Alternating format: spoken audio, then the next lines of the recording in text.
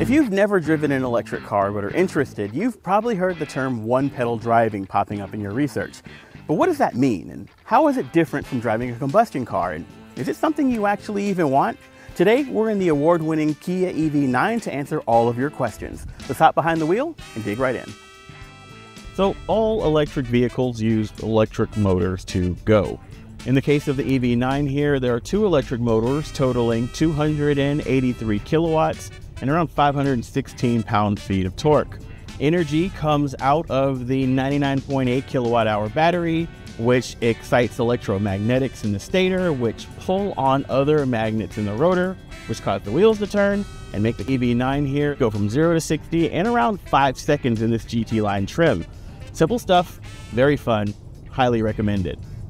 However, things get interesting when you stop supplying power to that electric motor but continue to apply some sort of mechanical torque, as in when you are coasting but not actually stepping on the gas pedal.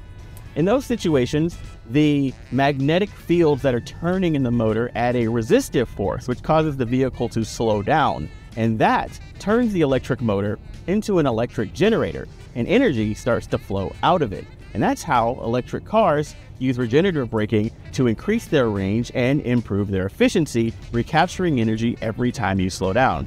Now, you're never going to get all of the energy back that you put out. It's not a perpetual motion machine. There are going to be losses due to friction and other factors. But extra range is extra range, and it's one of the ways that this GT line spec gets to its 270 mile EPA estimate.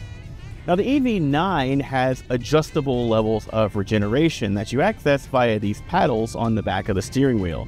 You can go all the way down to level 0, which is no regen. When you lift off, you just coast. And you can step up to level 1, level 2, and level 3, and finally settle on the iPedal Max mode that we're interested in today.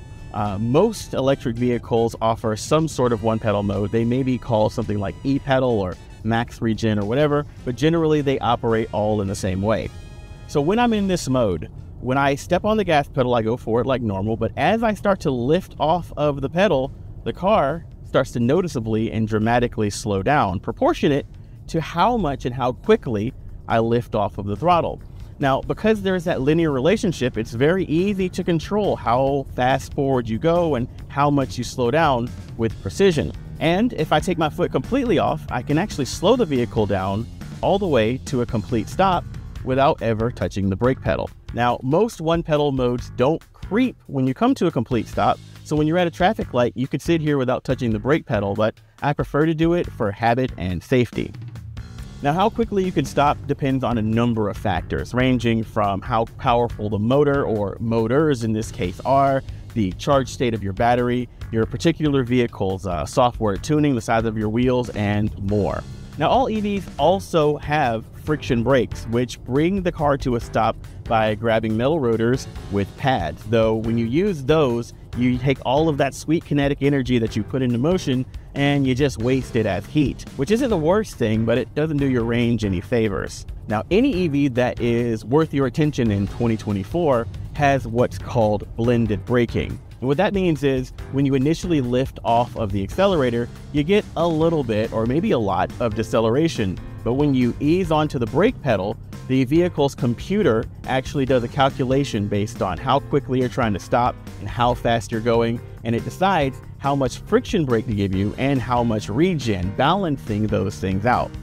Now, Balanced braking is never going to be as efficient as one pedal driving, but friction brakes actually have better instantaneous stopping power, which is why you still need that left pedal in order to bring an EV to an emergency stop. Now, one pedal driving has its pros and cons. Uh, in the advantage column, you have at low speeds, this is probably one of the easiest ways to get the most out of your efficiency and range because every time you come to a stop or slow down for traffic, you're going to be getting as much energy as possible back in the battery without wasting any to friction heat. Now, you're not going to be able to blow the EPA estimate out of the water, but this is probably the easiest way to get as close to that mark as possible and sometimes maybe even go a little bit over. That's it. In situations where you're going to be doing high, steady state speed, maybe like just doing 65 or 70 miles per hour in a straight line for the next 30 minutes, having to maintain that like precise, perfect pedal pressure can actually be a little bit fatiguing.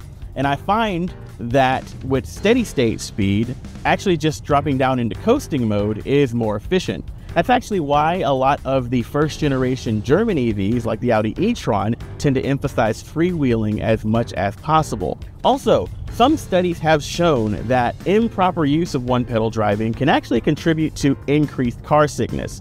If you're not super smooth on the pedal, or if your EV software isn't perfectly dialed in, you can end up with a lot of sort of micro adjustments to speed that can actually make your passenger start to feel a little green in the gills. Of course, in most vehicles, one pedal driving is a toggleable mode. Again, very simple, just with the paddle shifters in this car right here. So I recommend that you at least give it a try, see how it feels, and if you don't like it, just turn it off. So there you have it, a quick rundown on one pedal driving, how it works, its advantages and disadvantages. Hopefully that gives you everything that you need to know in order to decide when to use it and when not to.